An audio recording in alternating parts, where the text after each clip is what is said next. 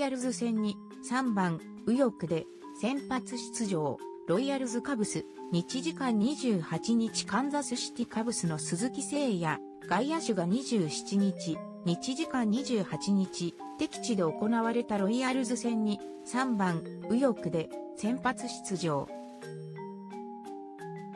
初回にセンター左へ2試合ぶりとなる15号にランを放った。この一撃でメジャー通算49塁打とし、城島健治氏を超えてヒヒト右打者の最多記録を更新した。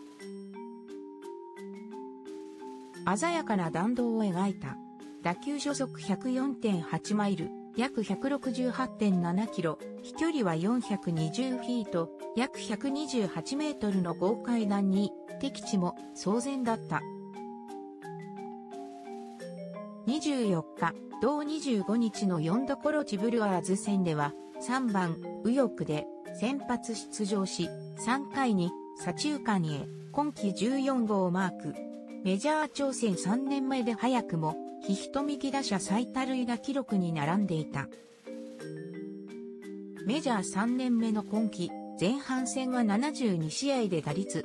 270、13塁打、45打点、オプス813チームはナリーグ中地区4位に低迷しているものの、中軸として存在感を示している。フルカウント編集部